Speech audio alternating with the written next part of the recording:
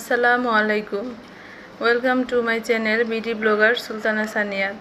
কাছে এবং দূরে দেশ এবং দেশের বাইরে যে যেখান থেকে এই ভিডিওটি দেখছেন, আশা করি সবাই আল্লাহর অশেষ রহমতে ভালো আছেন। আমি ও আমার পরিবারের সবাই আলহামদুলিল্লাহ ভালো আছি। তো আজকের ব্লগটি আমি শুরু করছি একটি মেলা থেকে। সকালে উঠেই আমি আমাদের আগার আগারগাঁয়ে একটি মেলা হচ্ছে, তো সেখানে চলে এসেছি। আমি পরের ব্লগে আপনাদের বিস্তারিত তো জানাব আর কি। তো এখানে দেখতে পাচ্ছেন অনেক রকমের গাছ, খুব সুন্দর সুন্দর ফুলের গাছ, ফলের গাছ এবং কিছু সবজি গাছও রয়েছে। তো এই তো দেখতে পাচ্ছেন বাহারি রঙের ফুল। তো আপনারা আমার সঙ্গেই থাকুন, আমি একে একে ঘুরে ঘুরে মেলার কয়েকটি স্টল আপনাদের দেখাবো। যেহেতু আমি সকালবেলায় চলে এসেছি এখনও সবগুলো স্টল বসেনি তো আমি প্রথমে কিছু গাছ দেখাচ্ছি। খুবই সুন্দর ফুলের কালেকশন আছে এখানে, আপনারা আসতে পারেন। অনেক সুন্দর সুন্দর ফুল রয়েছে।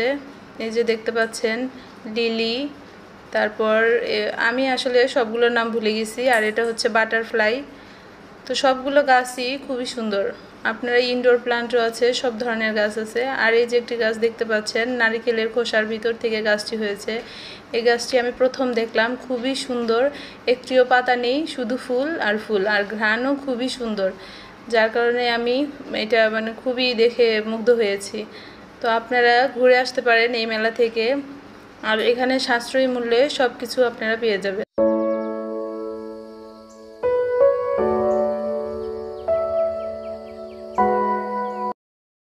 এখন আমি আরেকটি স্টলে চলে এসেছি। দেখতে পাচ্ছেন এখানে খুবই সুন্দর নকশি কাঁথা রয়েছে এবং কি নকশি বেডশিটও রয়েছে। তো এখানে এখনও আসলে ওরকমভাবে সবগুলো স্টল বসেনি। দু চারটে স্টল বসেছে, সেগুলো আমি ঘুরে ঘুরে দেখে চলে এসেছি। ওটার মেলার কাছেই একটা নার্সারিতে। তো ফুল আর গাছ এগুলো আমাকে সব সময়ই টানে। গাছ দেখলেই আমার মনটা ভালো হয়ে যায়, ফুল দেখলেও। তো এই জন্যই চলে এসেছি নার্সারিতে। দেখতেই পাচ্ছেন বাহারি রকমের ফুল গাছ। তো গাছগুলো দেখে আমার খুবই ভালো লাগছিল। মানে ইচ্ছে হচ্ছিল যেন আমি সবগুলো গাছই বাসায় নিয়ে যাই। তো আর সম্ভব নয় তাই গাছগুলো দেখে মনে তৃপ্তি মিটাচ্ছিলাম। আর বেছে বেছে কিছু গাছ আমি এখান থেকে অবশ্য নিয়ে যাব। তো সবগুলো গাছ দেখছিলাম আর কি। এই যে গাছটি দেখতে পাচ্ছেন খুবই ভালো লাগছে। এই গাছটিতে যে এত সুন্দর ফুল হবে মানে ভাবাই যায় না। আমার কাছে গাছটি খুবই ইউনিক লেগেছে। দেখুন খুবই সুন্দর ফুলটি।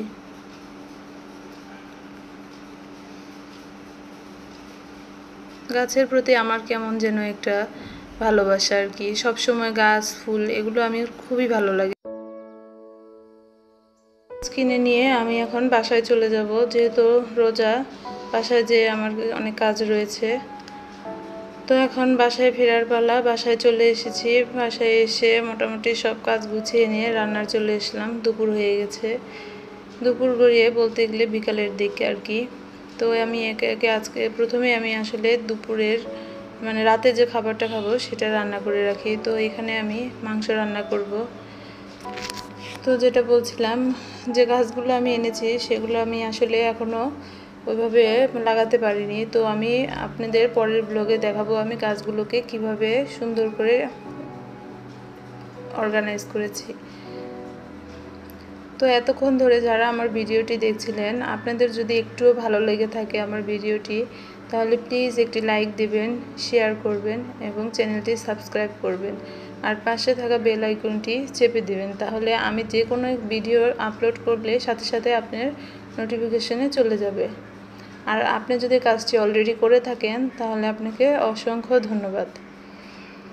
তো এই তো আমার মাংসের গ্রেভিটা হয়ে এসেছে।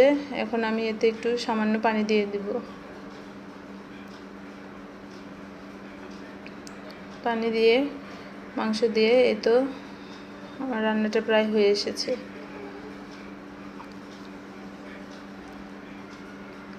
তো এই তো এরপর আমি একে একে সব ইফতারি তৈরি করে নিলাম। এরপর আমি ফাঁকে ফাঁকে এসে এই যে আমার ছোট্ট সোনামণি সাফনকে দেখে যাচ্ছি, ওর সাথে কথা বলে যাচ্ছি।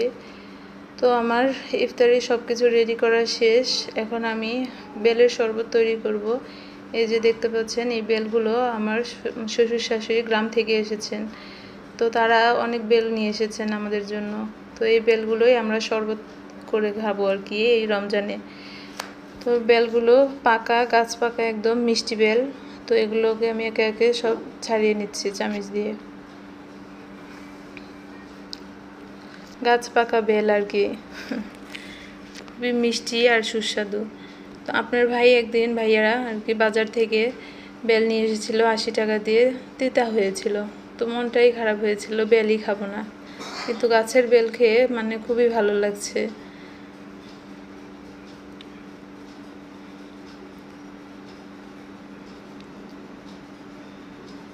তো এই তো, একে একে বেলের সবগুলো অংশ ছাড়িয়ে নিব। আজকে আমার বাসায় গেস্ট আসবে আমার দেবর আর ওর বউ, ওরাও আসবে। তো এই কারণে আমি একটু পরিমাণে বেশি নিয়ে নিচ্ছি যে সবাই মিলে খাব একসাথে।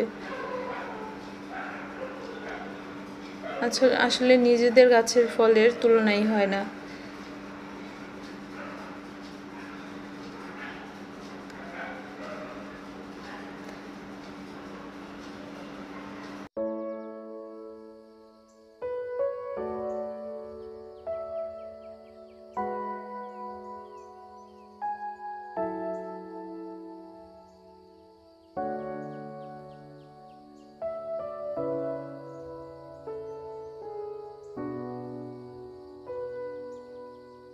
রোজার মাসটা আসলে খুবই ভালো লাগে। প্রতিদিন বিকালবেলা যে ইফতারিটা তৈরি করি, তারপর মাগরিবের পর সবাই বসে একসাথে খাওয়া দাওয়া করি।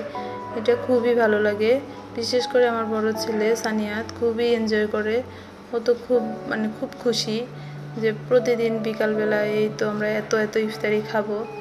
তো এগুলো দেখে ও খুব খুশি হয়। তো আমারও খুব ভালো লাগে। একটু কষ্ট হলেও মানে খুবই ভালো লাগে। মানে যেহেতু আমাকে সব কিছু করতে হয় রান্না বান্না করতে হয়। তো এই তো আমার ফাইনালি বেলের শরবতের লুকটা দেখেন। দেখতেই পাচ্ছেন, খুবই সুন্দর কালার এসেছে।